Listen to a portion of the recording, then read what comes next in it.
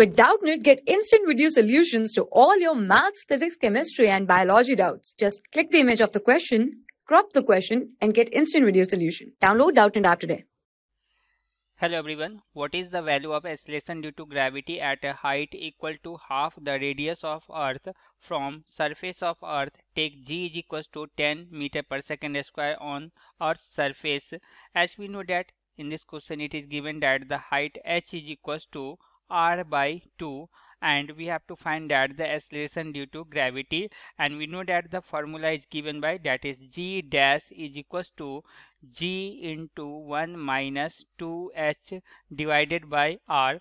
And this formula is used when h by r is much less than 1 and that is h is much less than r.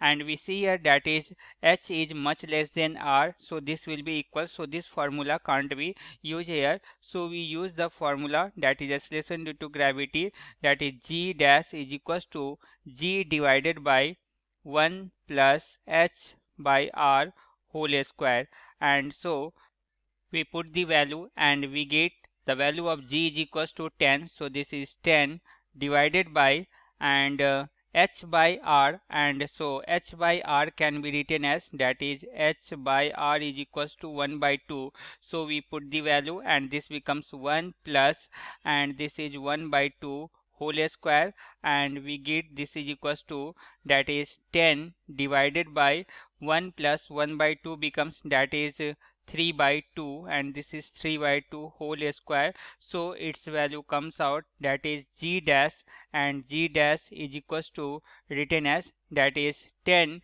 divided by 9 into 4 and this is 40 divided by 9 and its value comes out that is written as that is 4.44 meter per second square. Therefore the acceleration due to gravity g dash is equals to 4.44 meter per second square. This is the required value. And in this question we have to find that the acceleration due to gravity at a height equal to half the radius of the earth's surface. So this is the final answer. I hope you understood. Thank you For class 6 to 12, IIT JEE and NEET level. Trusted by more than 5 crore students. Download Doubtnut app today.